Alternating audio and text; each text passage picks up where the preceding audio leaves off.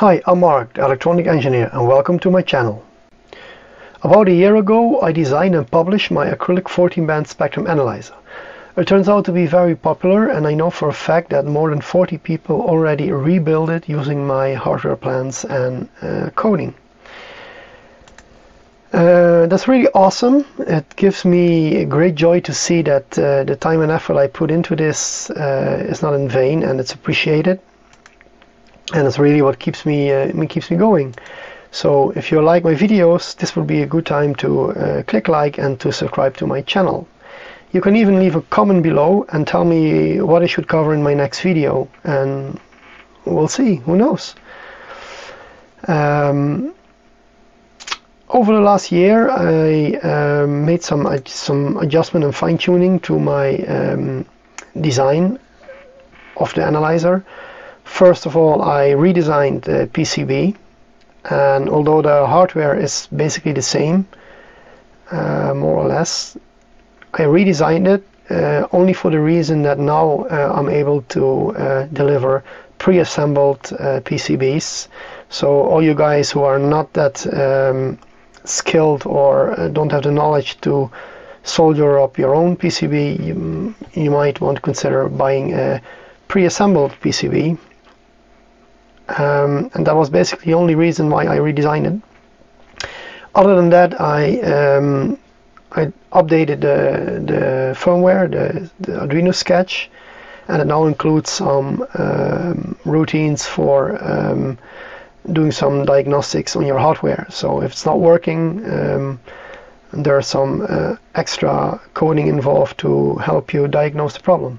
It's all documented in the documentation on GitHub, so you can find all the information right there. Now, um, I got many feedback from you guys about uh, uh, the, the the builds you made, and fortunately most of them uh, work without problems but some of you had some issues uh, most of them were solved because uh, they were minor um, although I did get a lot of feedback about uh, people who bought an MSGEQ7 chip on um, AliExpress and even some local suppliers and it turns out that most of them were faulty uh, I know for a fact there are a lot of fake out there I don't know why or what's the reason behind it. Um, I even encountered it myself several times. So I never order those chips again on AliExpress because chances are they're fake and not working. I stick to Mouser and um, uh, SparkFun because those always work. Um, nevertheless, it was reason enough for me to um, to find ways to take the, this analog jog out of the equation completely. Um, so I've been tinkering with this idea to use an, an FFT analysis um, in the microcontroller and do all this uh, spectrum analysis with coding instead of hardware. For those of you who don't know what FFT is, uh, FFT is short for Fast Fourier Transform. And basically it's an algorithm uh, that analyzes data, in this case our audio signal, um, and it calculates all the frequencies that occur in that signal. Um, uh, I'm not going into details on how that works because I know there are a lot of YouTube videos uh, available who do just that and um, they did a great job in doing so so there's no, really no reason for me to to explain it all again. Uh, what I'm really interested in is to see if I can use it as a replacement for my uh, analog hardware. And um, to do so, I first had to um, clarify the current specifications. Um, so my current design um, has some specs that I want to meet and um, one is that it uses 14 frequency bins. Um, it can be used with the same uh, analyzer setup, meaning I don't want to um, make a new set of tiles uh, of acrylic, etc. because that was a lot of work. Um, it should also uh, work with a line in and a mic in. And uh, FFT analysis should be as responsive or even better as the version with the analog uh, ICs, the analog chips. Uh, general functions like mode, brightness, peak delay, um, they should all uh, be unchanged. Um, and I should be able to use the same patterns and maybe even extend some.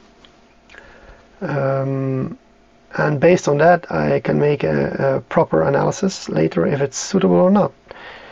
Well, using the same uh, LEDs, the W2812 and bodywork, that's not an issue because driving uh, pixel LEDs is a walk in the park for any microcontroller.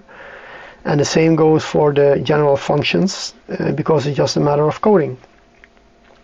Uh, regarding the patterns and um, extending the number of patterns, well, that's also a matter of coding and maybe uh, memory limitations, although I don't think we will run out of memory anytime uh, soon. Um, so with that in mind, um, the only thing that's uh, that might cause some issue is the the FFT analysis because the um, an FFT analysis takes up a lot of uh, calculation power, a lot of mathematics, and the 8-bit microcontroller that I used in my uh, current design simply doesn't cut it. Um, to measure uh, frequencies up to 16 kilohertz, like the analog chip does, uh, we need to be able to use a sample frequency of twice as high, according to the, the formula of Nyquist, which means uh, we need a sample frequency of 32 kilohertz. And furthermore, uh, every time we sample, we need to take approximately 1000 samples. So uh, those 1000 samples to make it accurate enough. And so that means um, at a frequency of 32 kilohertz, we need to take 1000 samples, more or less. Um, that's a lot of uh, samples in a very short time. And although theoretically that might work on your 8-bit uh, uh, Arduino, um, the response time will be very slow, uh, not very useful. So we won't be able to uh, refresh all the the, um, the lights, all the LEDs uh, on time, and it will become very slow in performance. So that's not really an option, and I had to look for another microcontroller. And although there are many Arduinos out there, uh, I use uh, or I just happen to have a lot of uh, ESP32 controllers which are perfect for the job. Uh, not only are these 32 bits instead of 8 bits, they also dual core, uh, 40 megahertz, uh, and on top of that they have an onboard Wi-Fi and Bluetooth receiver. So in the future I might be able to implement some Wi-Fi or Bluetooth functionality. The ESP32 is not only very affordable, it's um, a lot cheaper than standard Arduino most of the time, at least if you order it uh, in sites like AliExpress. And yes, um, those are not fake. I mean, not in my experience, uh, worked out just fine. Um, the main question is, can I use it the way I want? And can I uh, use this ESP32 with an FFT library to replace my current analog hardware? Uh, so to test that, I uh, rewrote the code completely I implemented um, Pixel Matrix so you will be able to uh, use different displays in the future and basically the framework uh, for both setups is the same. One setup uses the FFT library and the other setup uses the frequency board with the two MSG analog chips. Um, other than that all the framework is the same. So we can do a, a, a good side-to-side -side comparison. And uh, um, I did recordings for using the mic in and I did recordings using the line in so we can compare both. I did run into some some issues with the um, FFT on the ESP32 because every time the input signal was uh, too strong uh, that would result in uh, false positive on nearby frequency containers.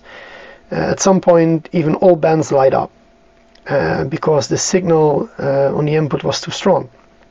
So I looked again at the data sheet of the analog chip, the MSGEQ7, and turns out those are specified for a line input signal of 0.3 volt peak peak.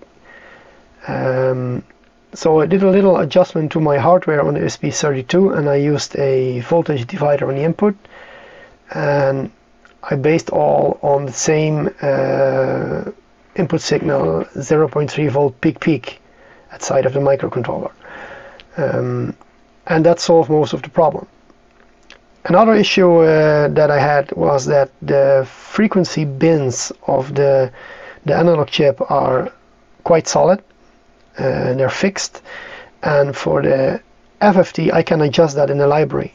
And for now I, uh, I chose frequencies that are close to the ones of the MSG uh, close to the ones of the the MSGEQ7 analog chip but they're not spot on. So as you can see in the video at some point some containers are a bit off in frequency. You can see that with the frequent doing the frequency sweep. But it's okay for now. Uh, you can adjust it easily in the in the firmware of the FFT parameters. Um, so I made a video in which you can see all four and you can judge for yourself. Um, on a personal note I'm very pleased with the result and uh, I think I will continue uh, fine-tuning this so I will implement that in a future release of the spectrum analyzer